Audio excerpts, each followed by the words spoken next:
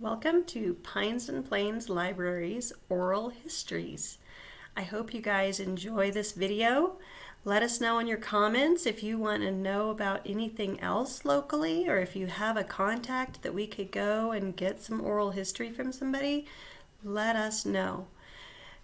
This is going to be an oral history from Mr. Morris Ververs, and I hope you enjoy it. Do you do you still have some time? We could maybe I could ask you kind of how Simla was when you were growing up, and kind of. We have another history that we had um, from Mr. Limley, and um, Tim Miller asked him his oh. questions, and he he went through and he just kind of said, you know, you know, how old are you? When were you born? And mm-hmm. did you grow up here? And they went through the whole thing, and it was kind of neat to listen and hear Mr. Limley's description of Simla. Yeah. And and how you know how he got back and forth to school and you know mm-hmm. just just went through the day to day life. But for when he was growing up, and I was fascinated because it's so different from how my kids are going to school. Mm-hmm. Oh. And yeah. so I, you know, can would, can we do that? Well, yeah, I could start with uh, my experience with someone, which started uh, basically I was uh, going to school at Central School. Mm-hmm. You know where that is? Mm-hmm.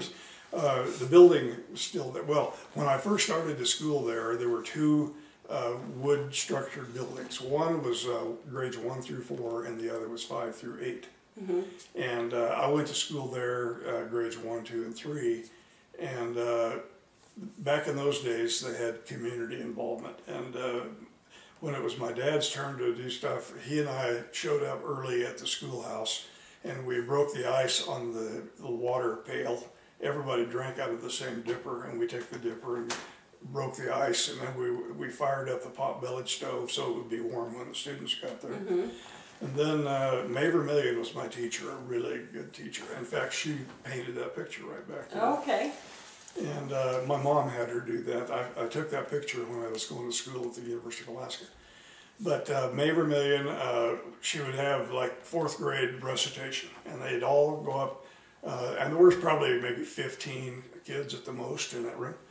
And uh, but while they were doing that, they all went up and sat on a recitation bench, which most people don't even know what the heck that is nowadays. But, they kind of did a lesson, and she walked them through certain things. But grades uh, one, two, and three were seated in the back, and we were listening and we were learning. learning their stuff. Yeah, learning their stuff. Mm-hmm. And, and, then uh, they uh, they tore those school houses down, and uh, my uncle Leo, Charlie's dad, mm-hmm. Uh, built the new schoolhouse, which is still standing and is used as a church today. Mm-hmm. And where is that? Uh, it's about two or three miles north of Couch Tor. Okay. All right. But uh, yeah, and uh, and I went to school there for uh, till uh, I was in the seventh grade. Mm-hmm. And uh, you've heard me tell this story that I was yeah. the smartest kid in my class for, you were. for seventh grade. And Bernie always said, "Well, you're also the dumbest kid." Well, yeah, that's true.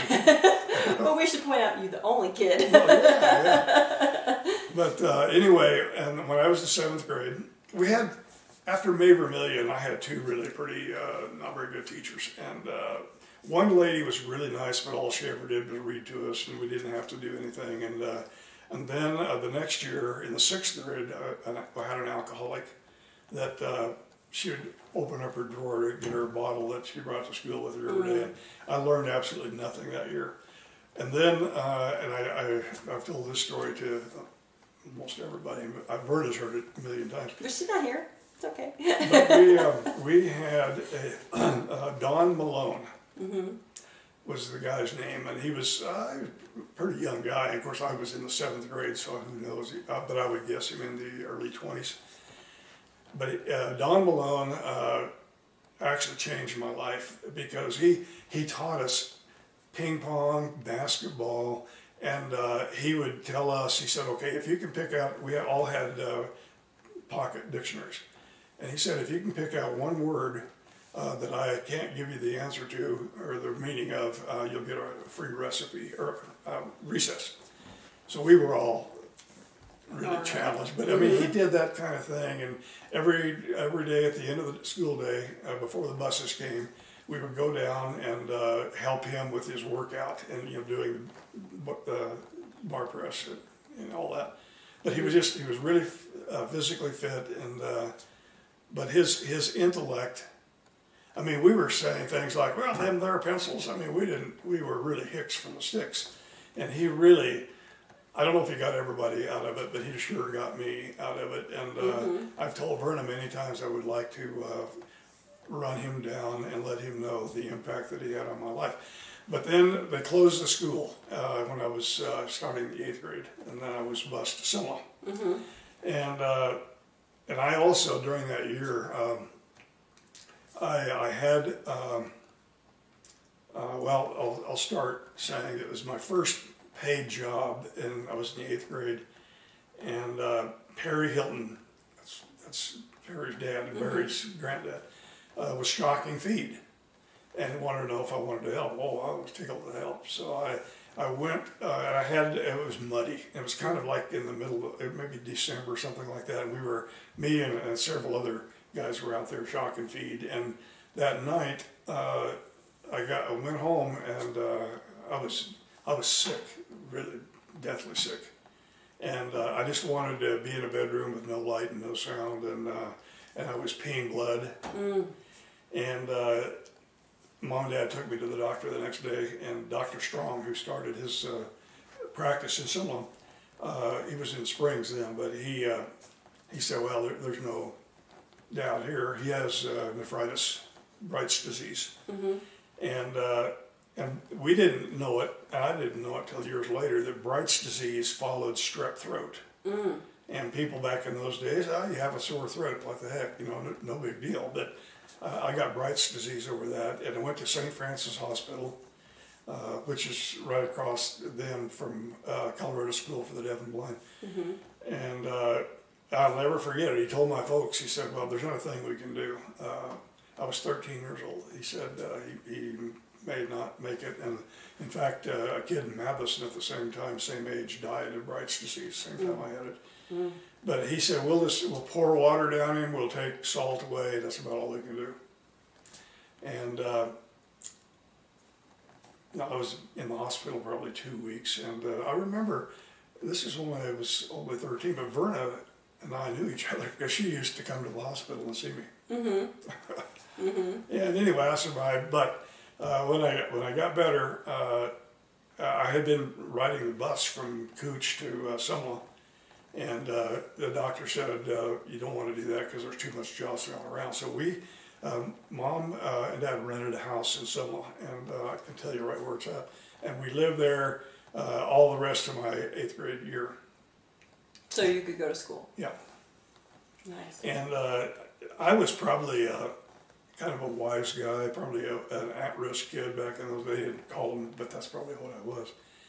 And uh, I don't know if this is a good story for the video or not, but I'll Okay. tell it. Well, if it's not, I'll take it out. Okay. but uh, anyway, I went to the uh, ninth grade, and uh, and I'd had kind of a rough year my eighth grade, but I I failed algebra one, mm-hmm.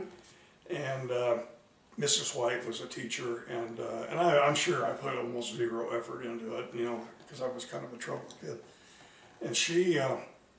I, I, I failed it, so I took it again the second year. And at the end of the year, I was kind of a wise guy. I said, uh, I didn't learn anything new. And she said, Well, you could always take it a third time. and uh, the ironic thing about this whole story is that five years later, I came back and uh, took her job as a math teacher. Nice. Yeah. yeah. You know, as uh, And she was nice to me. yeah. Oh yeah. It She wasn't like, you know, you. this jerk uh, taking my job, but, but she was really, really nice. Mm-hmm. Yeah. It's those uh, it's those unique kids that um, it's they're worth it. Yeah, I, I just I always marvel at that story because uh, you know I went to uh, when I graduated from high school I went to uh, Colorado State University and graduated with math ed, and uh, Vernon and I were headed for Alaska. We were going to go teach in Alaska, and my dad had just bought the place where you're living right now, and he said, "Well, Uh, oh, before that happened, though, uh, Lionel Robertson, who was at the Deer Picnic two years ago, uh, he uh, called me up and he said, uh, "We need a math teacher at Simla. Would you be interested?" And I, uh, well, yeah, I hadn't thought of it, but we were kind of going to go to Alaska. But in the interim, my dad had just bought the place, and he said, "I'll tell you what." He said, "If you feed some cows and do some work for me, uh, I'll, you could live in the house rent free." And uh, so I thought, well, not a bad deal. So that's what I did, and it was I taught math for five years. Nice. That's similar. And when I taught uh, my first year, it was the old building, uh, three-story brick building, and uh, I was in the upper northwest corner. That's where all the snow uh, blew in when it was blizzarding. and uh, the principal, who turned out to be a very good friend of mine, uh, took me to my room and he said, "Here's your classroom." And he said, "I think there's some textbooks in the back of the room in the closet there." And then slammed the door and I, I was on my own. but I.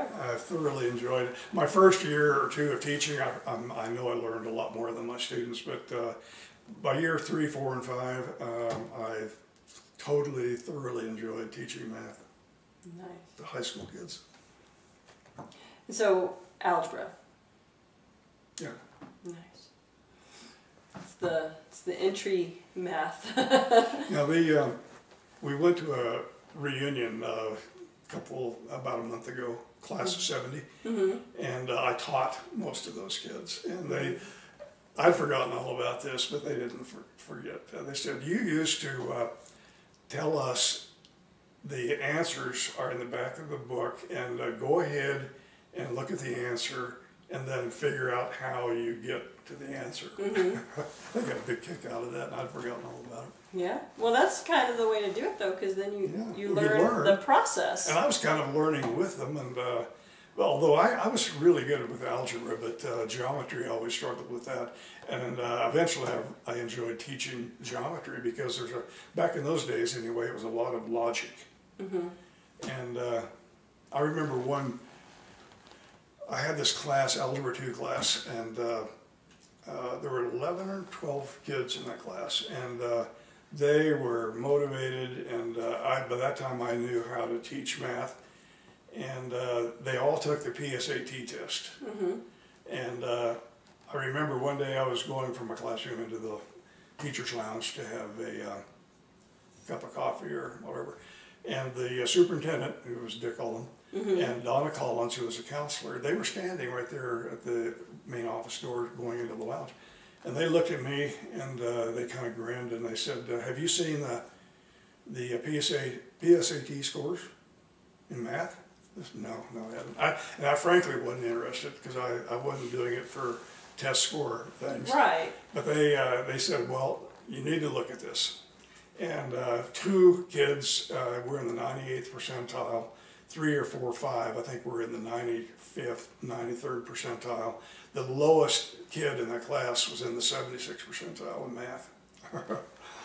and I, I think So they learned something. they learned, but That's awesome. uh, and I think I, I did know what I was doing teaching, but uh, the main thing is that they were incredibly motivated and competitive with each other. They worked Mm-hmm. their butts off. Nice. anyway, that's one of my side stories. And what? So in that, what class was that? That was this the reunion you just went to. Uh, no, uh, that class happened to be before. Uh, there was about 69 probably. Mm, okay. Yeah. All right. Well, cool. So that by that time, you guys had a kid. yeah, yeah. We, we may have, Van was born in 75. Uh, no, So, Maury was oh, born, in, yeah, in 75. Van was born in 66. Yeah, 66. and then Vaughn was 69. sixty nine. Yeah, Okay. Good years. yeah. It's, it's good that you were such a good teacher because you're probably tired with two little ones at home. Yeah. Well, uh, I, I, you know, doing really well as a teacher and uh, and uh, got along great with the kids and all that. One day, Mr. Oldham uh, called me into his office. Well, I never get called into the superintendent's office. Yeah. So I went in there and he said, uh, he said, we're going to have a, uh, an opening for a high school principal. No, K-12 principal. He said, uh, would you be interested? And I, I don't remember what I said, but I remember thinking, I don't know what the heck being a principal is all about. what do you do? Yeah. Uh, and I was I was making five thousand two hundred and fifty dollars. That was my contract for teaching.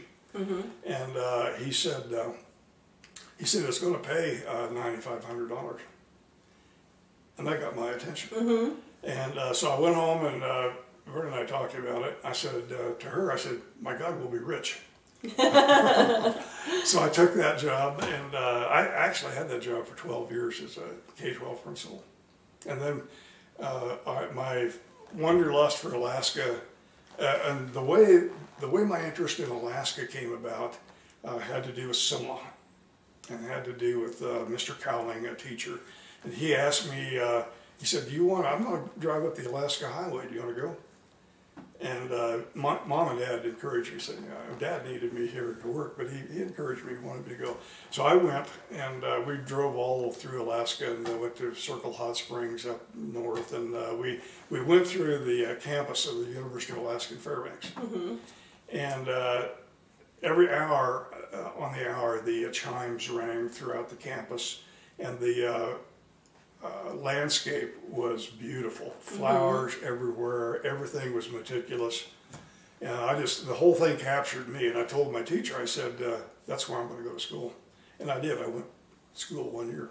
And then I came back and Vern and I were married. Yeah. but uh, and that was uh, only three years after Alaska became a state.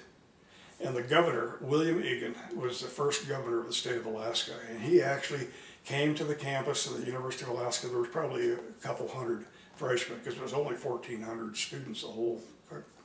Uh, and he uh, made a speech to the uh, freshman class trying to get us motivated. And I remember him saying, uh, the, the future of Alaska is fantastic and there will be more opportunity here than you'll find anywhere. And, you know, that kind of a speech. And he didn't even know about oil. Mm, oh time. gosh! Wow. And, uh, but, uh, and I remember calculus classes. And I remember, oh, I was uh, up there when uh, the Cuban Missile Crisis. Oh okay. And I remember being in a political science class. We spent all of our time talking about that for weeks. But anyway, then I came back um, and I was principal for 12 years Here. here, and uh, and then we went to uh, Alaska. Again. Yeah, again. So the first time you went to Alaska as as in the teaching position, not as a going to college as a student, Well, the but you second went time up I was there principal. quite north. in the Eskimo village. Right. Yeah. And was that Deering? No, at first it was Kivalina. Oh, Kivalina, that's right. And uh, there's a long story about that because uh, we, I had taken a year's leave of absence, and I, I won't get into the. This is a long, fascinating here. story. Yeah, I uh, I applied for a packing plant uh, grant because I had I had contacts with cattle ranchers uh, in Alaska, and uh, I was trying to buy some. We didn't have any money, and uh, anyway, I applied for a two and a half million dollar uh, interest-free loan. This was during all the oil time, and they were trying to develop infrastructure. And uh, I met uh, the guy that started Alaska Sausage, and uh, Herb Eckman was his name. And uh, I spent evenings with him and his wife and over the dinner table talking about, you know, the future of the beef industry. And but anyway, we I took a year's leave of absence, and uh, we went to uh, um, Wasilla. In fact, the boys were in school with uh, Sarah Palin. And uh, anyway, The older two. I uh, I came in number two in the grant process, and the guy that came in number one uh, had he was a Alaskan mill and feed, and he had a lot of uh, political connections. I had none, and but my I, I'm still convinced to this day that my proposal was ten times better than his, and had all the moving parts. And he knew nothing about cattle ranching or any of that kind of stuff. So anyway, we uh, we uh, that fizzled out. So Vern and I were just, he was waiting tables and I was driving the school bus and we were waiting to go back to Simla to my job. And uh, then I saw an ad in the paper where they needed a K-12 principal at Kivalina. Had no idea where Kivalina was. So I, I went up there for the interview and, And, uh, and tell us where Kivalina is. Kivalina is uh, north of Kotzebue, about 60 miles, and a village of about 200 people. And uh, I flew in there for the interview. They offered me the job, and uh, came back. Bert and I talked about it, and uh, we went and bought the boys parkas and we got kind of prepared. We Because this is north. This is way this north is cold Wasilla. Alaska. Yeah, Yeah. and uh, we we flew from Anchorage to uh, Kotzebue, and then we get in the small Islander airplane, and maybe five six passenger, and uh, we took off. It was dark because it was December, and uh, we see this speck of light up there. And the pilot said, "There's Kivalina," Oh, oh. and uh, we uh, landed, and uh, they picked us up. A bunch of people picked us up on snow machines and sleds, and they dropped us off at our house because we were, we had rent-free housing. Uh, so we went in the house, and it was uh, probably 40 below zero, and uh, the honey bucket. Well, the only water was in a plastic garbage pail, and it was froze solid. And uh, the honey bucket was ru- running over full and froze solid. Not not everybody knows what a honey bucket is. So honey bucket is what people used to go to the bathroom, and uh, I got a lot of stories about that. I've heard tons of One of our teachers in uh, Deering, and the teachers were all hired from down here and knew nothing about Eskimo living. And uh, uh, this one teacher had a big steel pot that he'd used for a honey bucket. It was all froze, so he thought, well, before he goes to school, I'll put that on my stove and let it thaw out. So while he was gone, it thawed out and boiled over. Oh, yes. Anyway, I, I can tell stories forever. Mismanaging your honey bucket is a bad thing. Yeah. But we had a, uh, Kivalina was kind of a rough time because it was the first time we ever um, lived in an Eskimo village, and uh, the boys uh, experienced racism, uh, and they had to fight their way to and from school. I've always felt bad, but they it, it really impacted their lives, and, maybe not in all good way, but uh, I think it did teach them a lot about living with a different culture and so forth. But then uh, I thought uh, George White was a superintendent, and he came out. He was the um, graduation speaker. We had three girls graduate from high school, and he uh, he said uh, he put his arm around me and he said, "We sure like to have you back here next year." And I remember thinking, "There's no way in hell I'm gonna." so we came back, and we were here for two years. And then uh, the superintendent at Calhan, um, uh, Richard Simmons was his name. He was he was going to go to Denver to uh, interview for a principal's job in the Northwest Arctic School District, and he thought maybe I should go along and maybe the connections might help him in some way. So I went uh, went with him, and the the interview was at the Brown Palace Hotel. And uh, I remember uh, in the bar, I uh, uh, lifted up the phone. I, I called George in his room. And, oh, he said, uh, he said, bring me up a scotch and uh, we'll visit. He said, I got an hour uh, recess time here. Let, let's just uh, bring me up a scotch and we'll visit. So I did. And uh, while we were visiting, he said, uh, I've got a great job for you uh, in Deering. And uh, I said, well, we're, we're really pretty settled in. And uh, I could go on about how that all transpired, but we ended up being enduring uh, for three years. And And and that's where, is that where you met the Carmen family? yes, Yeah.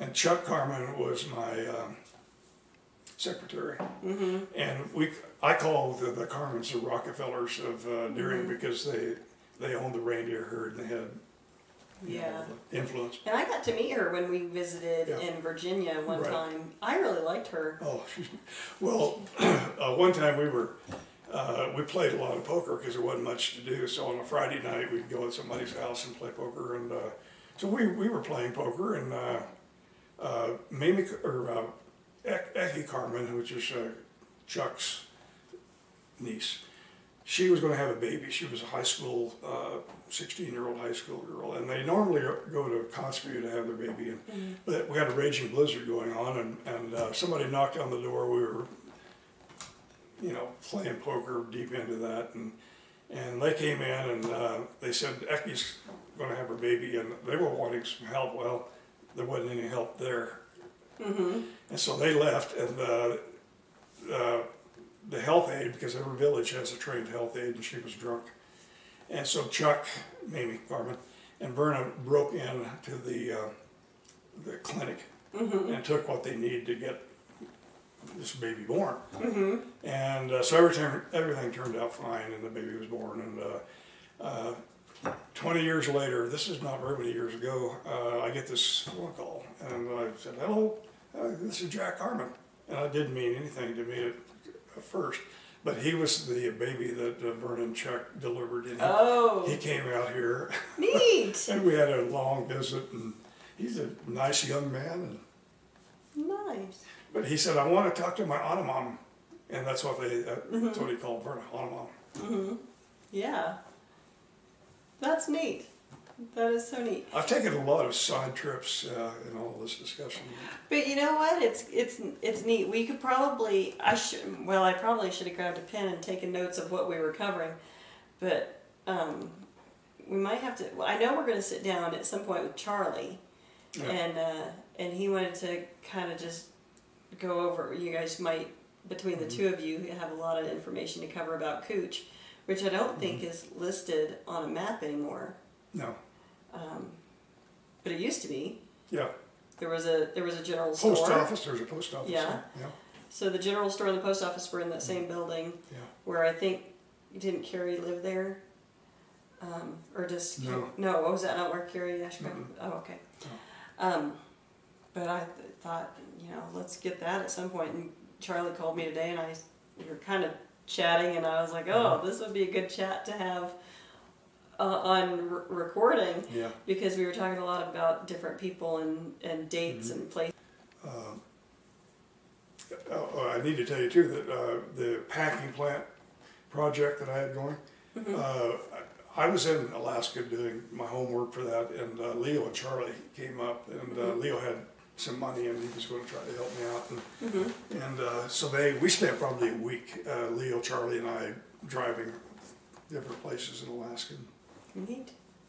Yeah, I, I haven't been up there much, but what I've seen I just loved because, you know, of course I've grown up here and um, it's just so dry that I didn't really realize until I went up to Alaska that I would like to have more moisture in my life. Yeah. my skin felt better, Yeah, my oh, yeah. hair had a little bit of wave to it. It was the weirdest thing.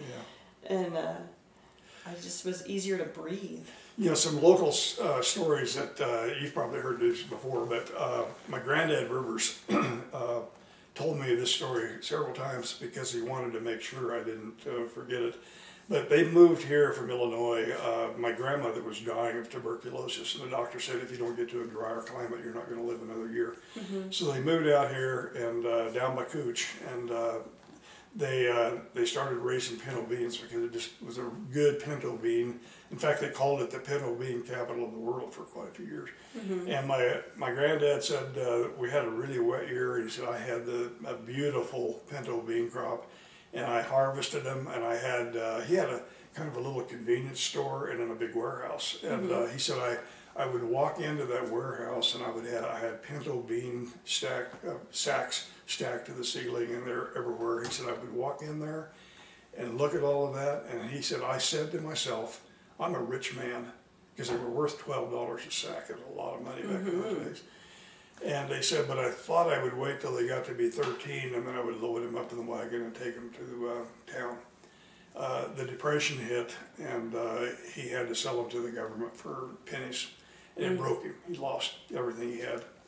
And uh, another story. This is a pre. This is depression time. And about the same time, uh, my granddad, my mother's dad, uh, Everett Ashcraft, uh, he had raised quite a few beans and was doing really well and uh, had a lot of money in the Matheson Bank. And people started getting nervous about banks. So he went up there uh, and took all of his money out in cash and put it in a coffee can, took it back to the place, and uh, that's where Terry lives, or where my Uncle Dale lived. And he buried that can. And uh, my mom told this story multiple times because she was 16 years old and heard everything that was said. But she said uh, uh, he took all the money out of the bank, put it in a can, buried it. And uh, that a Sunday, on a Sunday, the two bankers drove out. and uh, they they were crying, and they said, "Everett, you've got to put that money back in the bank. The community depends on it, and everybody's going to be hurt if you don't do that." And by kind of a speech. So my granddad went back out and uh, dug up the can, give it to the bankers. that was Sunday. On Monday morning, uh, the bank uh, doors were locked, and uh, one one of the bankers shot himself. And that's just, those kind of things happened back in the Depression. So anyway, those are two stories I have that that uh, I remember hearing about. Yeah. Oh. Gosh, That's, that's yeah. a Kutch kind of a story because that, that's kind of where they yeah. raised the Panama beans. Well, and the bank was in Matheson, huh? Mhm. So there's not a bank in Matheson. Now the building was a brick. I could still see it. It was a red brick building on a corner, and uh, it was torn down years ago. Mm-hmm. So Matheson doesn't have any businesses in it right now. They have They a- have a post office. A post office. That's it. I think. Yeah. Yeah. And then Simla has a grocery store and a butcher and a mechanic, Retirement home. retirement home, town hall. Yeah.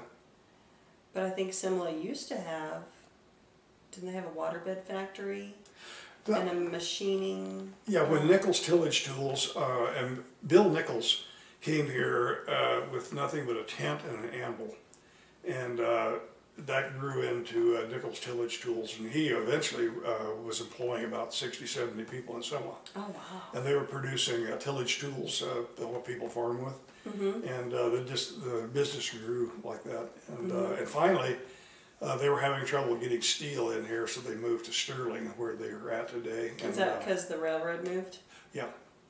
And uh, his uh, Bill Nichols' grandson runs the business now, and he was at uh, the alumni picnic a couple of years ago, and uh, one of my students, former students. Mm-hmm. But uh, yeah, the Simla, that was the biggest thing that ever happened to Simla was Nichols Tillage Tools. But they had two grocery stores at one time. They had two filling stations. They had a pharmacy. Uh, they had a pool hall. Uh, they had three pool tables and sold beer, and people would go in there. A lot of people spent a lot of time there. Mm-hmm. And what else did they have? Oh, they had a, a beauty parlor, and uh, what else? It was it was a, kind of a going Well, there- proposition. For the boarding school, was it similar kind of where everybody sent their kids? Well, yeah, back in uh, my uncle Bub, who had the turkey farm down there, he uh, he boarded out. My dad never did go to high school, but Uncle Bub uh, moved to Simla and stayed in a boarding house and went to high school. So this was the school for the for the area. Area, right? So it wasn't real, and that is that why it was called the Big Sandy Schools because it was kind It of never area. it never was called Big Sandy School until uh, Simla, Ramah, uh, and Matheson uh, consolidated and went into one school. Oh, And then they changed the name to Big Sandy. Okay. In fact, when I was teaching, I think it was still called Simla. I know it was still called Simla School. All right. So the Big Sandy School is kind of a recent change then. Very, very recent. Yeah. Okay. Okay. Let's see. What else can we talk about? We used to, so when you you just referenced a little while ago the that you are up in the corner of a brick building. Mhm. So where in Simla was that school building? Right now, it's kind of right north of the water towers, and there's a whole bunch of uh, trailer houses there now. But that's Mhm. where the the old brick building was. Okay. And then uh, I taught in there for probably two or three years, and then they built a new school, the Round The, Pods. the pods. Yeah. In, in kind of the same location. Yeah, Okay. And I taught there for two or three years, and uh, that was I really enjoyed that. Mm-hmm. Okay. And then the when we first were talking, you were talking about the hotel with the balconies, and that's those are now the Apartments. apartments Mhm. that are um, on County Road 125 as you're kind of heading north to go to Highway 86. Yeah. Okay. Um, and then, do you know where the waterbed factory was? It's where the uh, Nichols Tillage Tools was, and it's all the steel buildings, and Okay. the uh, police uh, uh, are, they're using the old office Mm-hmm. building. And, but And then the conservation district uses those buildings, don't they? Isn't Uh, that for where you pick up your trees, trees yeah. and stuff? Yeah. Okay. Yeah. Alright. Now we used to, uh, uh, Vernon and I were teenagers, uh, we would go down that building where the school used to be, that pretty good size hill. Everybody, uh, the town cop, Bud Hutchins was his name. He would uh, cordon everything off, and we would go down that hill for hours all day long, sleigh riding, and when we had snow. Mm-hmm. Yeah, that'd be cool. That that would be a good idea. Yeah. I have uh, unintentionally slid down that hill in my minivan that you picked me up several times because I couldn't get home when I had that minivan. Oh, yeah, yeah.